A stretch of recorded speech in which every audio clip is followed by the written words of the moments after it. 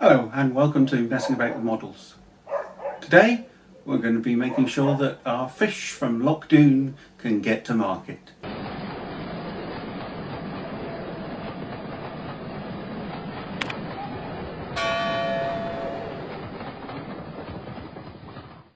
One of the major reasons for railways going into the Highlands in the second half of the 19th century was to tap into the lucrative fish markets in the Highlands and Islands of Scotland. Now Loch Doune will be a large exporter of fish to the markets in Glasgow, Edinburgh and London, so we're going to need some fish vans to take that traffic and make sure that they're cool. The railway companies built specific vans for this traffic and we're going to be making a couple of wagons for them. These are the Parkside kits. I've got an LMS 6 tonne fish van um, and also a British Railways fish van, uh, 12 tonne fish van, which is based on an LNER uh, design. I've also found an old kit of a fish van, which hopefully we can make a third wagon out of, um, but we'll see what we can do as we go along. So let's head over to the workbench now. Right, so let's go over what we've got.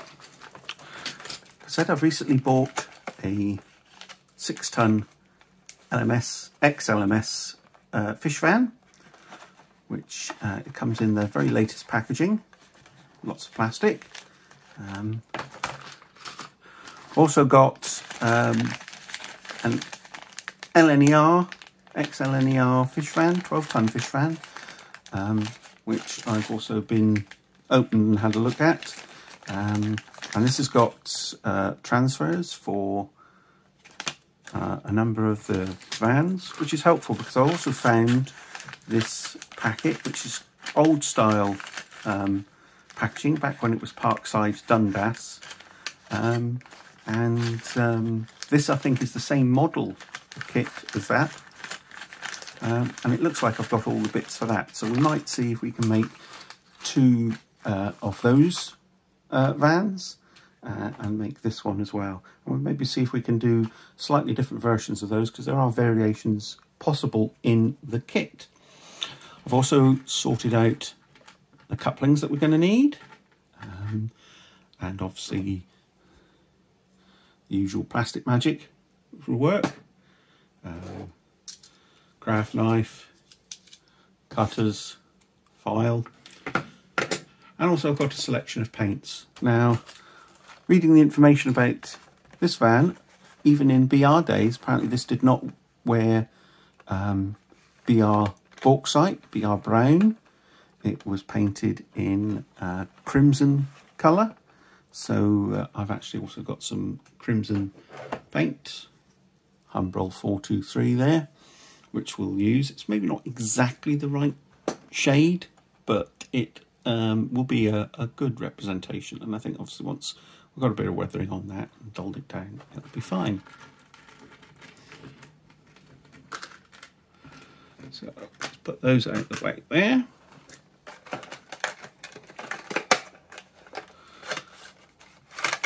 I'll open up the six ton.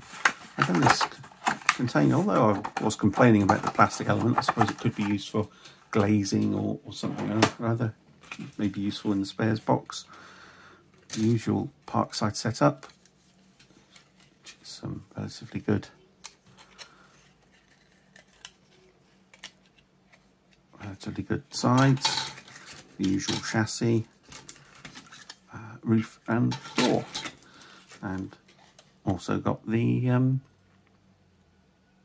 Got the transfers for the LMS 6-ton fish van, um, which will, like I said, at least be a different type of van than the one that we've, we've got. The instructions, I think, have been rewritten because they're, they're actually a little bit clearer, although I've never built an earlier version of this kit. Um, the instructions are actually a bit better laid out than they were previously, I think. Um, certainly when we come to look at the the other kit, instructions, uh, maybe not quite so well laid out. So what we'll do is we'll start off um, assembling the sides and ends onto the floor.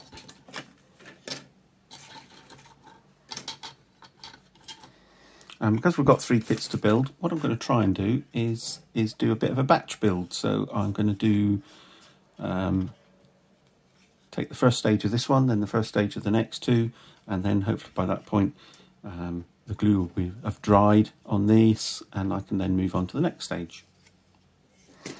So, uh, following the instructions, let's uh, prepare the let's prepare the floor and body sides for this one.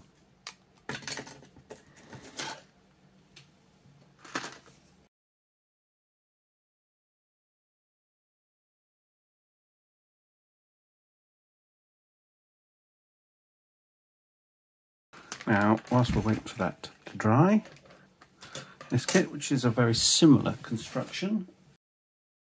This van came in different versions, one with roller bearings and one with oil bearings, so I'm going to make one of each for a bit of variety.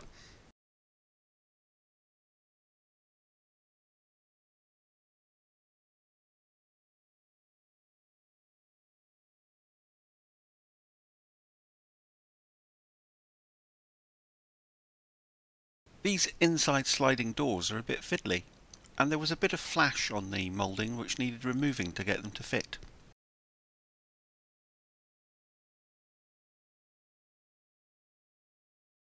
Now on to doing the chassis of these wagons. All relatively straightforward, especially if you've done parkside kits before, but replacing the brake lever with wire was a bit fiddly. Well worth it though, I think.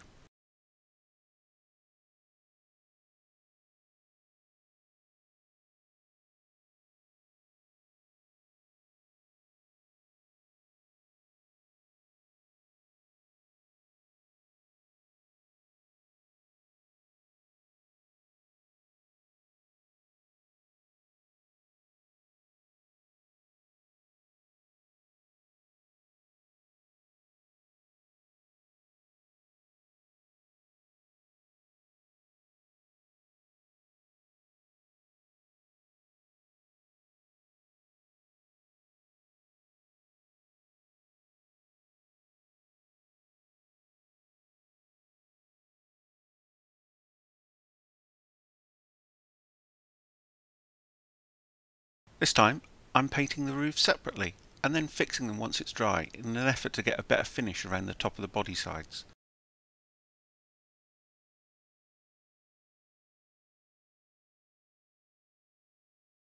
Just a coat of grey, the roof will be weathered, weathered with some powders later.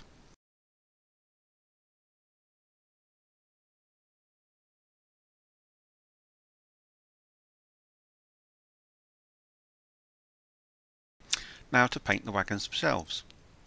First, the XLMS 6 ton van. This is BR Crimson as used on non-passenger carrying coaching stock, so it should be the right shade, although it will be dulled down with some weathering. All the pictures of fish vans in traffic I've seen show them to be pretty mucky.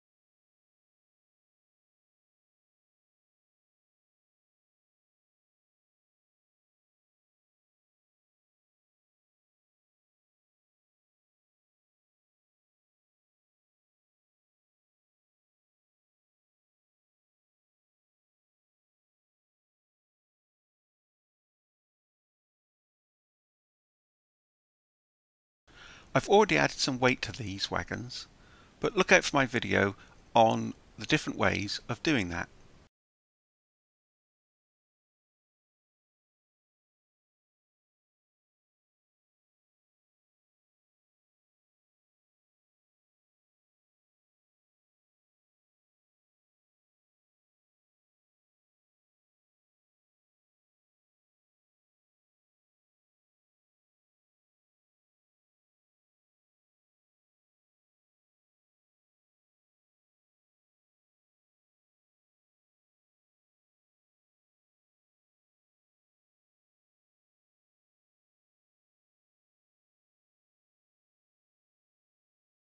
Once these have been painted, it's time for adding the transfers and then weathering them.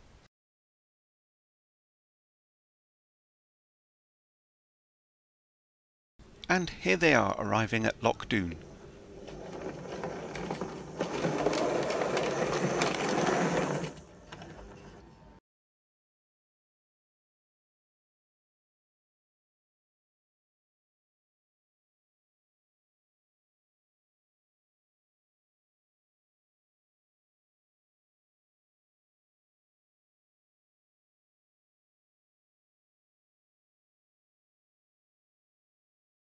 Please subscribe for more videos, hit the like button, and check out my other videos linked on screen.